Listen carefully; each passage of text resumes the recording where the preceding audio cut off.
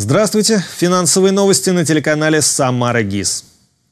Банк России снизил ключевую ставку с 14 до 12,5% годовых. Эксперты полагают, что это может привести к снижению ставок по кредитам и вкладам, а также спровоцировать ослабление рубля. Как поясняют в регуляторе, решение о снижении ключевой ставки было принято с учетом ослабления инфляционных рисков при сохранении рисков существенного охлаждения экономики.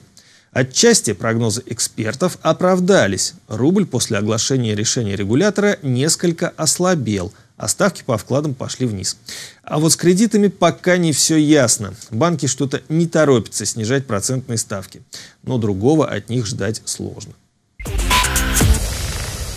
В марте объем вкладов физических лиц и индивидуальных предпринимателей в банках, работающих в Самарской области, вырос на 0,9% и составил без малого 828 миллиардов рублей.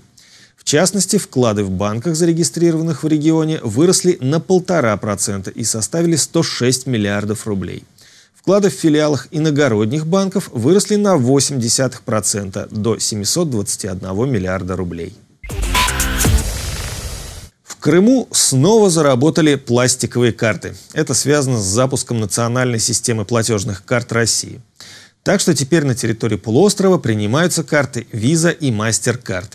Ранее обе системы заявляли о прекращении работы в Крыму в связи с санкциями США. Снять наличные деньги владельцы карт этих систем в Крыму пока могут лишь в банкоматах Российского национального коммерческого банка, который при этом не берет комиссию по операциям с картами других российских банков. Ну вот, не был в Крыму, так что подтвердить или опровергнуть не могу.